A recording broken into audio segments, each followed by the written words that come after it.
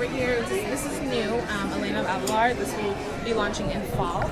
Um, it'll be introduced first by Sofia the First. Are you guys familiar with that? Yeah. Sofia. so this is, um, We have a five-year-old, yes. Oh, awesome. this is introducing Elena. So she has her beautiful gown dress, which is 1999. Um, her musical scepter, which plays My Time from the television show, and then guitar you can play um, play with it. It's actually a working guitar so with the strings.